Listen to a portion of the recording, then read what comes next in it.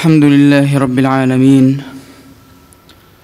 نحمده ونستعينه ونستهديه ونسترضيه. لا نحصي ثناء عليه هو كما أثنى على نفسه. نحمده ونشكره ونخلع ونترك من يفجره. ونشهد أن لا إله إلا الله وحده لا شريك له. ونشهد أن سيدنا محمدا عبده ورسوله. اللهم صلاة وسلاما دائمين متلازمين على أسعد مخلوقاتك يا أرحم الراحمين. يا أيها الذين آمنوا اتقوا الله ولتنظر نفس ما قدمت لغد. واتقوا الله إن الله خبير بما تعملون. ولا تكونوا كالذين نسوا الله فأنساهم أنفسهم. أولئك هم الفاسقون. لا يستوي أصحاب النار وأصحاب الجنة. أصحاب الجنة هم الفائزون. أيها الأحبة كل زمن من الأزمنة وكل مرحلة من المراحل لها بداية ونهاية لها أول وآخر الإنسان فيها في سباق شاء ذلك أم أبى علم ذلك أم جهل. ونحن في أعمالنا لنا ميلاد ولنا وفاة. ونحن في رمضان لنا بداية ولنا نهاية. ونحن في أيامنا عندنا فجر وعندنا مغرب. فكل حياة الإنسان هي ميلاد ووفاة بداية ونهاية. فنحن فيها شئنا أم أبينا في سباق إلى الله سبحانه وتعالى. وكل أمر الإنسان فيه في سباق فهو أحد رجلين. وأمره أحد أمرين لا ثالث لهما ولا خيار بينهما. إما فوز وإما خسران. إما مكسب محقق وإما خسارة معجلة. وحينما يكون موضع الحديث هو رمضان فالحديث فيه ليس عن أي مكسب وليس عن أي خسران. فالذي يشمر عن ساعده ويتعامل مع الشهر التعامل الأمثل يفوز ليس فوز النجاة الطبيعية ولا المكسب الطبيعي وإنما يفوز بالمغفرة الثلاثية التي أخبر عنها رسولنا صلى الله عليه وسلم في حديثه عن أخص خصائص الشهر. فقال من صام رمضان إيمانا واحتسابا غفر له ما تقدم من ذنبه. ومن قام رمضان إيمانا واحتسابا غفر له ما تقدم من ذنبه. ومن قام ليلة القدر إيمانا واحتسابا غفر له ما تقدم من ذنبه. ونحن هذا اليوم في العتبة الأخيرة من أعتاب الشهر. نحن في اليوم الأول من الأيام العشر الأواخر من ذي الحجه من من رمضان. نسأل الله أن يبلغنا ذي الحجه وكان شأن النبي كل العام شأن وشأنه في رمضان شأن آخر. وشأنه في رمضان شأن وشأنه في العشر الأواخر شيء آخر. ونحن في مسيرنا إلى الله علينا أن نطبع عادتنا ونطبع عبادتنا ونطبع أخلاقنا على طابعة محددة. هي طابعة النبي صلى الله عليه وسلم. لأنه هو المثل ولأنه هو القدوة. واسمعوا إلى حاله صلى الله عليه وسلم في هذه العشر لأن أنا شايف الناس بدأت تضب حالها ويا المساجد قل العدد. حتى من كانوا يجتهدون في الليل قل العدد. وكأن الناس تسير بالمقلوب وليس في الاتجاه الصحيح. كان النبي طوال رمضان يخلط ليله بصلاة ونوم. فإذا أتت العشر أحيا ليله ولم ينم. إحنا كيف عملنا الليلة الماضية؟ كانت ليلة من ليالي العشر. وليست أي ليلة إنها ليلة وترية وليلة جمعة. وذلك الذي غفل في الليلة البارحة فاته خير كثير. وهكذا هو طريق المسير إلى الله. قد تغفل لحظة قد تغفل ساعة, ساعة فتفقد النور. تفقد الرحمة المتدلية وقد كانت رحمة ليلة وترية وليلة جمعة وهاتان إذا اجتمعتا كان فيهما خير كثير. كان رسول الله صلى الله عليه وسلم إذا دخل العشر وقد دخلت العشر ماذا يفعل؟ يوقظ الأهل. ويحيي الليل ويشد المئزر. كل الليل علاقته مع أهله هي فقط قوموا للصلاة يرحمكم الله. لا جدال ولا سجال ولا نقاش ولا شيء. وعلاقته مع المصلين أنه كان يخرج إليهم ساعة الصلاة ثم يدخل إلى معتكفه بعد الصلاة. ليه هو معتكف؟ يعتكف في خلوة حتى من الصحابة رضوان الله عليهم. وذلك عايزين نبطل بقى عادة نبص في الساعة ونعد الدقايق. إحنا في العشر الأواخر من رمضان التي كان النبي ينقطع فيها انقطاعا تاما. كل لحظة وكل دقيقة تقضيها في بيت الله سبحانه وتعالى انوي نية الاعتكاف.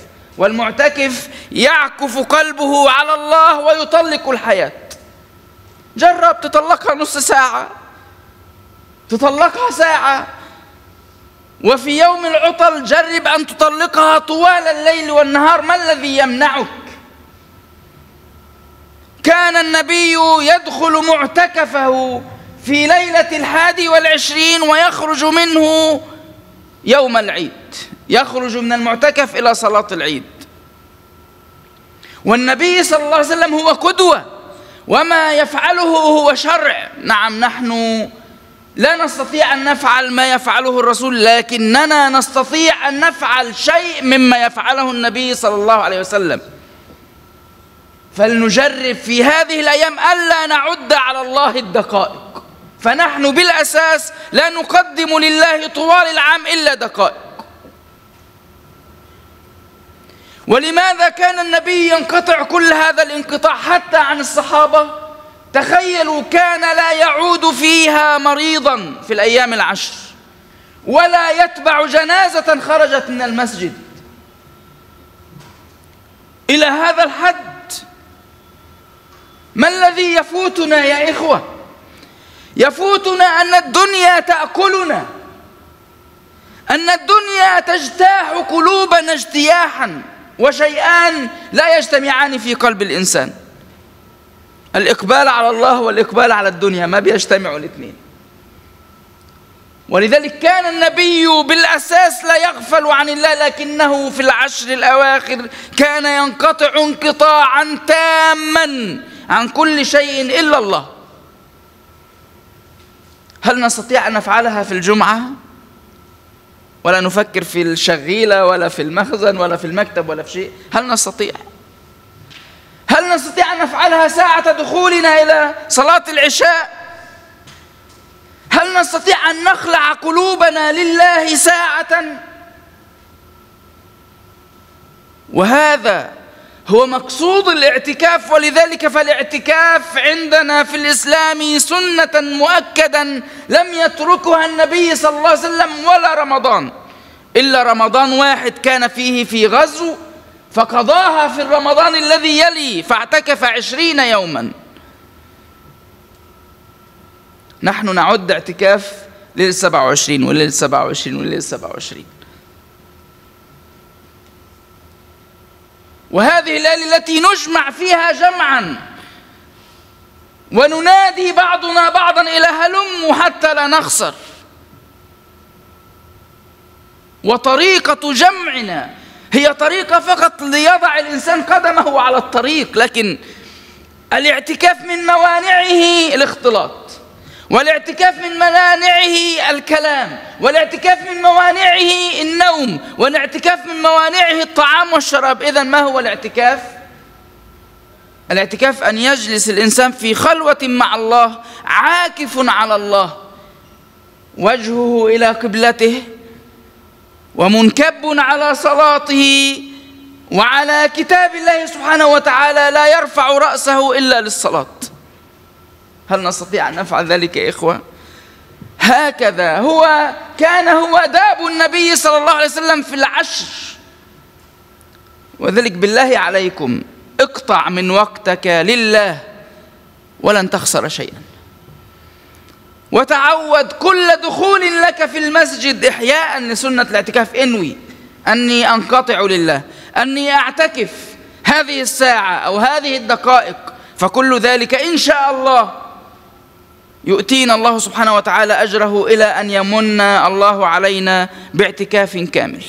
ننقطع فيه عشرة أيام عن البشر وعن الدنيا ونفرغ قلبنا لله قولوا آمين. وإذا أتت العشر فإن فيها ليلة القدر. وليلة القدر هي ليلة ذات قدر. ذات قدر لأنها خصت بتشريف شرفنا به وبكرامة أكرمنا بها. هذا التشريف وهذه الكرامة هو نزول القرآن الكريم من اللوح المحفوظ إلى السماء الدنيا. وأي أمة هي أمة القرآن؟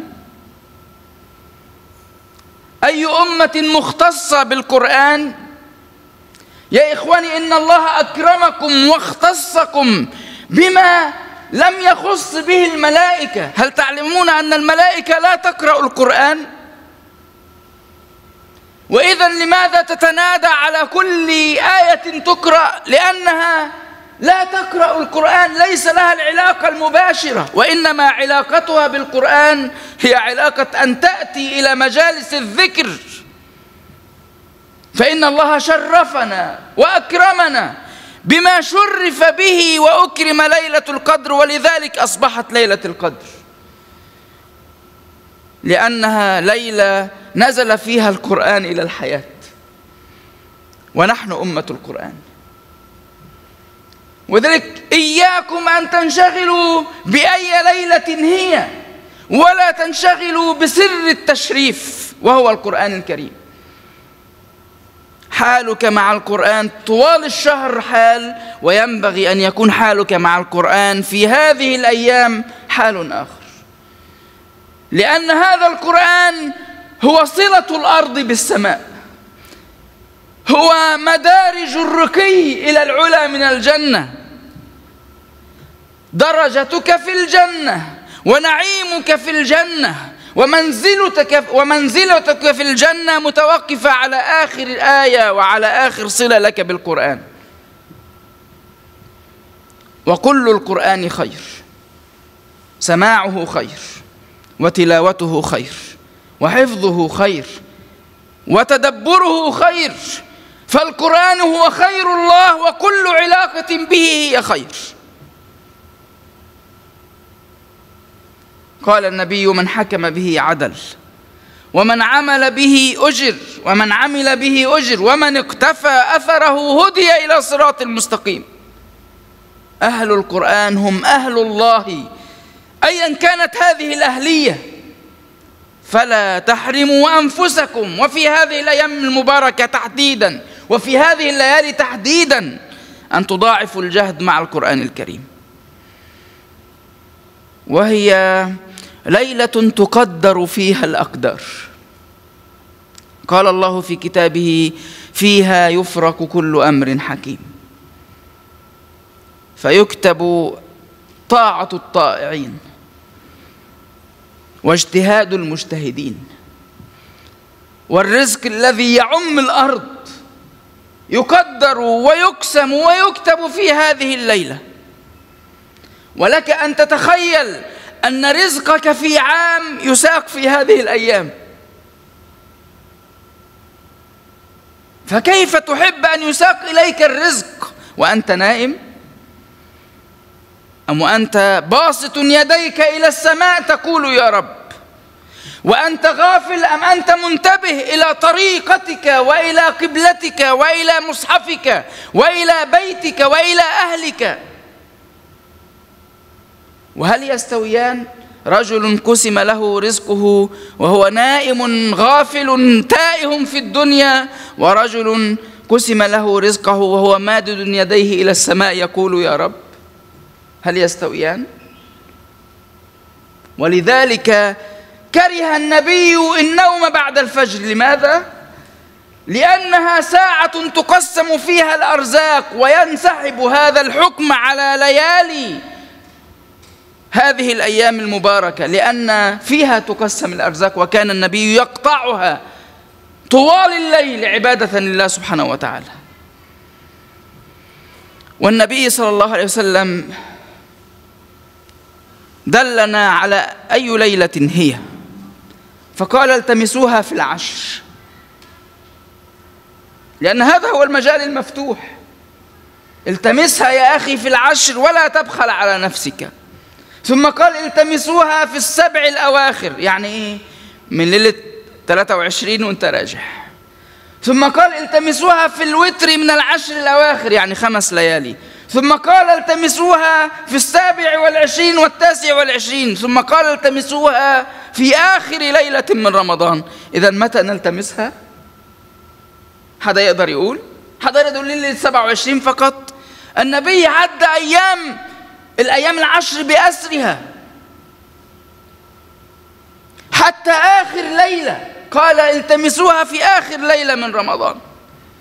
لأنه صلى الله عليه وسلم وضع لنا مجالا لا يجوز أن نتأخر عنه وهو أن نشد المئزر نشد الهمة ونحيي الليل من أول ليلة في الليالي العشر إلى آخر ليلة من الليالي العشر.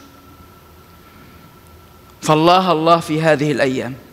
الله الله في برنامجكم الله الله في أوقاتكم إنها كنوز ثمينة فلا تضيعوها نحن نبهنا في آخر الخطبة الماضية عن الواجبات. ونكرر بعض ما قاله الحاج قبل الصلاة. الله سبحانه وتعالى ربط عبادة الصيام وعبادة الزكاة وهو فهم فرض في عام واحد. وهذا من الخير الكثير. وقلنا أن الزكاة 2.5% ينبغي أن تخرج هذا حق الله سبحانه وتعالى. لا تخرج منقوصة أبدا تخرج زائدة تخرج زائدة لأن هناك زكاة وهناك وهناك صدقة. ولا تظن أبدا أنك تعطي الزكاة للمحتاجين أو تعطي الزكاة للهيئات والجمعيات. إنك تعطي الزكاة لله سبحانه وتعالى. الطرف الذي يتقبل منك صدقتك ويأخذ منك أموالك هو الله. تصدقون بكلام النبي صلى الله عليه وسلم؟ صلوا عليه. قال إن الله يتقبل صدقة أحدكم بيمينه. لما بتوضع الشيك الذي يأخذ هذا الشيك مش الجمعية الله سبحانه وتعالى. كيف تريد أن تقدمه لله سبحانه وتعالى؟ ويكفي لنا في الزكاة هذا الحديث. هل سنترك يد الله مبسوطة وأنت تبخل وأنت بتحسب الحسابات وعمال تقول لا هيك كتير والله هيك كتير؟ الله يبسط يده إليك ينتظر الفرض الذي فرضه عليك. كم ستتركه ينتظر؟ هذه ليست منا. إنها حق الله وآتوهم من مال الله الذي آتاكم. إنه الله الذي أعطى وينتظر منك العطاء. والصيام مرتبط بزكاة الفطر وزكاة الفطر هي نحن قدرناها بعشرين دولار على كل إنسان تنفس ولو نفس واحد في هذه في شهر رمضان. والإنسان صيامه مرتبط بهذه الزكاة. تخرجها عنك وعن أهلك وعن أولادك عن المسلمين. فأيضا الله الله في هذه الزكاة لأنها تخرج في مصاريفها. نسأل الله سبحانه وتعالى أن يجعلنا من الذين يستمعون القول فيتبعون أحسنه أقول قولي هذا وأستغفر الله العظيم لي ولكم فاستغفروه إنه هو الغفور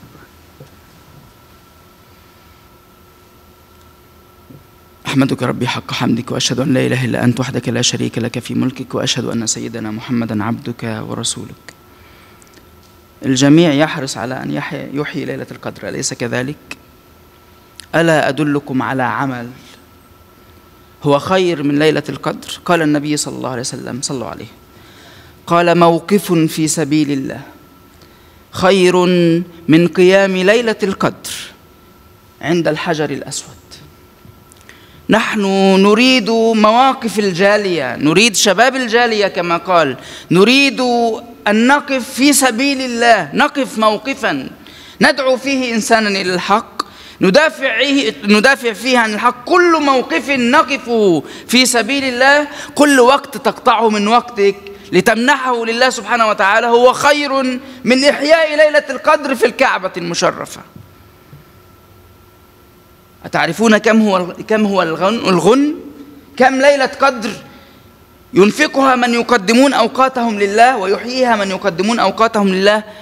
نريد أن نتعامل مع الله سبحانه وتعالى بهذا المنظور. نقدم لله والله سبحانه وتعالى يقدم لنا اللهم لك الحمد كله ولك الشكر كله ولك الكبرياء والعظمة يا أرحم الراحمين يا رب نحن أتينا إلى بيت من بيوتك. نرجو رحمتك ونخشى عذابك. اللهم فعفوك عفوك. اللهم عفوك عفوك. اللهم عفوك عفوك. اللهم باعد بيننا وبين خطايانا كما بعدت بين المشرق والمغرب. اللهم نقنا من خطايانا كما ينقى الثوب الأبيض من الدنس. اللهم اغسلنا من خطايانا بالماء والثلج والبرد. اللهم إنا عبيدك الفقراء إليك. اللهم إنا عبيدك الفقراء إليك. نرجو رحمتك ونخشى عذابك. نرجو رحمتك ونخشى عذابك. اللهم إنا نسألك العفو والعافية في ديننا ودنيانا وأهلنا ومالنا. اللهم استر عوراتنا وآمن روعاتنا. واحفظنا من بين أيدينا ومن خلفنا. ونعوذ بعظمتك أن نغتال من تحتنا. اللهم إنك عفو كريم. اللهم إنك عفو كريم. اللهم إنك عفو كريم. تحب العفو فاعف عنا. اللهم ارحمنا فإنك بنا راحم. ولا تعذبنا فأنت علينا قادر. والطف بنا يا مولانا فيما جرت به المقادير. لك الحمد حمدا كثيرا طيبا مباركا فيه. ملء السماوات وملء الأرض وملء ما بينهما وملء ما شئت من شيء بعد. لك الحمد على أن رأيتنا أهلا للصلاة وأهلا للعبادة. اللهم فأتم علينا المنة ببلاغ ليلة القدر. اللهم بلغنا ليلة القدر. اللهم لا تحرمنا خيرها وبركتها. اللهم ما قسمته لعبادك من رزق فيها. فاكتب لنا منه أوفى حظ وأوفر نصيب. اللهم اكتبنا فيه من حجاج بيتك الحرام. اكتبنا فيه من المبتهلين لك المقبولين عندك يا أرحم الراحمين. اللهم انصر دينك وعبادك وأولياءك في كل مكان. اربط على قلوب إخواننا المرابطين في أرض الأقصى يا أرحم الراحمين. اللهم صن حرمات المسلمين. اللهم صن حرمات المسلمين. واستر عورات المسلمين. واحفظ أعراض المسلمين. اللهم رد المسلمين إليك مردا جميلا يا رب العالمين. اللهم اجعل بيوتنا قبلة ونقيم الصلاة. واغفر للمسلمين والمسلمات المؤمنين والمؤمنات الأحياء منهم والأموات. إنك سميع قريب مجيب الدعوات. وأقم الصلاة. رمضان